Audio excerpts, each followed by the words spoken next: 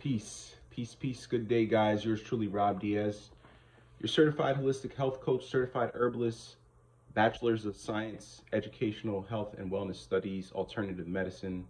15 years combined experience with the use of botanicals, plants, agriculture, and understanding community herbalism with a greater approach to clinical herbalism from an individualized approach to treating individuals doing no harm with the use of evidence-based research, credible evidence-based research. Guys, I understand that right now we have a lot of people who are advocating for herbal medicine. However, all they did was pick up a little book, 10 pages, looked at some pictures, and started selling you dry herbs and teas.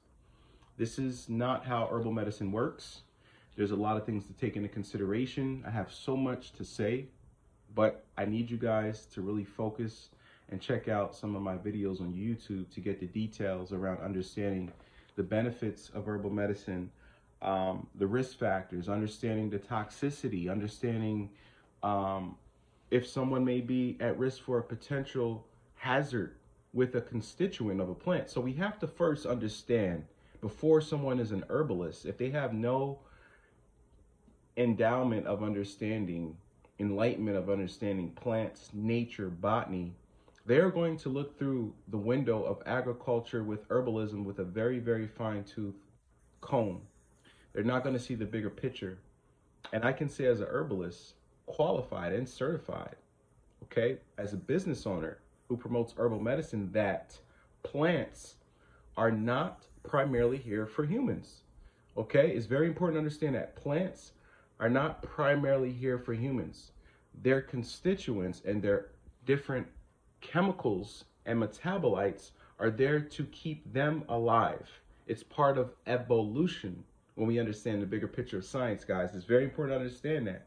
Secondly, we have identified as humans, we have identified as a people, as the human type, Homo sapiens, that we can utilize. We can benefit from these plants when they're in our body because they react with our metabolic chemistry.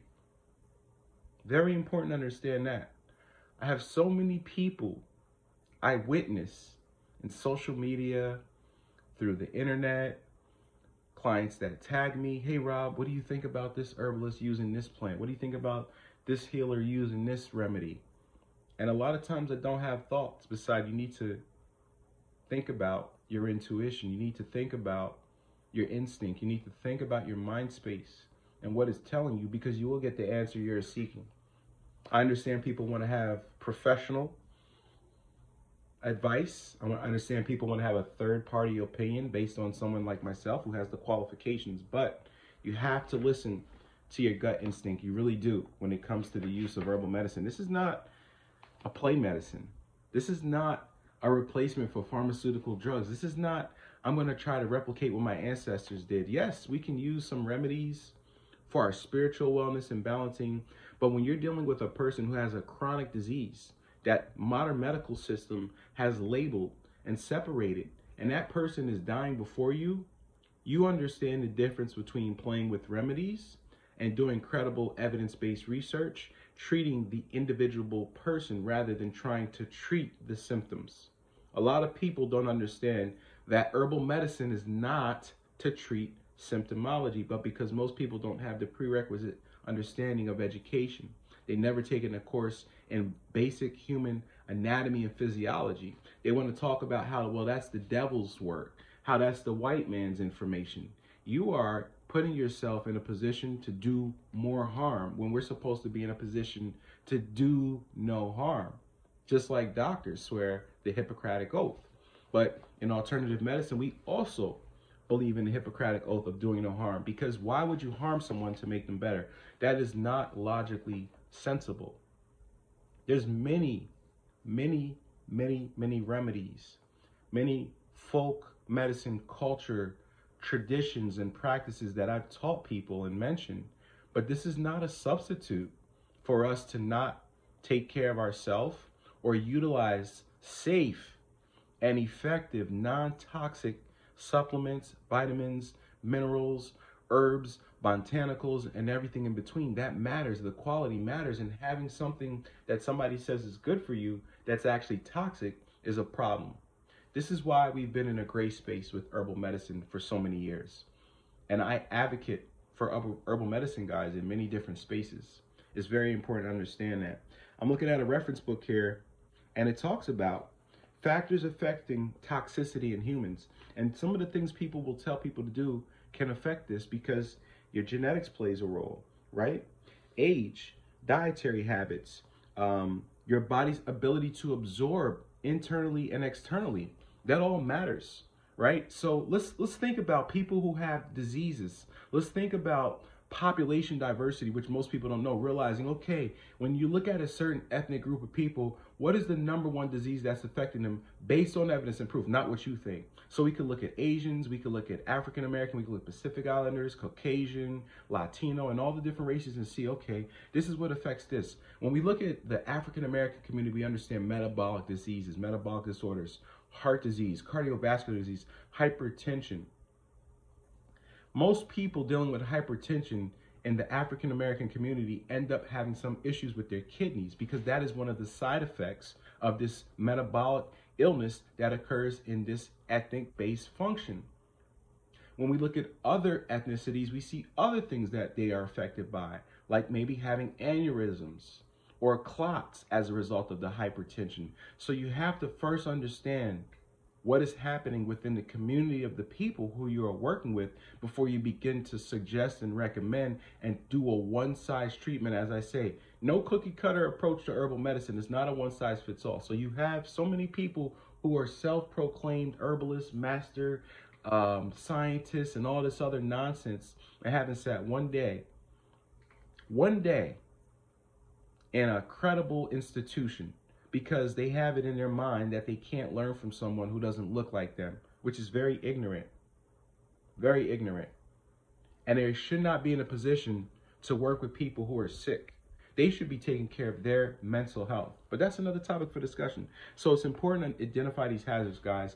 I had someone who tagged me, okay, a lot of times on, hey, Congo, what do you think about this?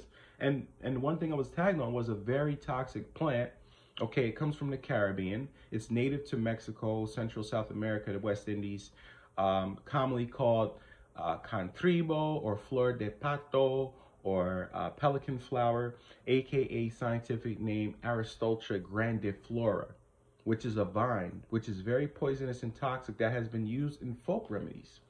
So I have people who want to argue about folk medicine and science. I, I don't do arguments. I don't do internet beef. I don't do social media beef. I present the facts, the evidence, and I educate. And it is up to you to make the decision to be wise and utilize what's meant for you. Again, this is a very important message. I want people to take time to understand the importance, safety, and efficacy of herbal medicine because we can do harm. And it is the dose, it is the dose that makes the medicine. Yes, you can take something that's poisonous and not necessarily have a reaction. But is that the same true for everyone? We are all unique in our genetic blueprint and DNA, and we must remember that. And we must not be treated by self proclaimed individuals who claim they have a one size fits all. You will not get results. You will waste your time. You will continue to get worse. I'm not trying to be the negative Nelly I'm not trying to bring in any bad information, guys. I'm just trying to enlighten, educate, and share based on credible research, based on my experience through my certifications, qualifications with the Guild, having the time that I've taken over the years, hundreds and hundreds of hours of studies, being out in the field, witnessing and working with those who are sick in the clinical setting is different than having people come to you and asking for things and saying, "Hey, try this. Hey, try this." That's that's not effective. And that's not how this medicine works. And I want you guys to understand that there are toxicities with herbal medicine. There are plant toxins that will cause our organs to fail, especially when we talk about the African American community, aka kidney failure. A lot of plants that we take as herbal medicine will be processed, metabolized through our liver and kidneys, and the kidneys cannot be restored. Okay, yeah, there's people out there selling all kind of kidney um, supplements, and you can bring. That's not true. Most people don't realize this because they're not getting their lab tests. They're not checking their blood levels to see what's happening in the body, so they have no idea. They're basing everything merely off of emotions and feelings. And if this is how you're taking care of your health, you're setting yourself up for a ticking time bomb of destruction. Please be smart, be wise, guys. Work with professionals, and remember what I first thing I said is follow and trust that instinct. If you need help, if you want to talk, if you want support, check out my website, natureroots.com. I will be more than happy to do the work to educate, to enlighten, which empowers you to make the decisions that you need to support your body. Remember, there are no healers that do healing. The healing is within you. You activate the healing. Peace. Good day.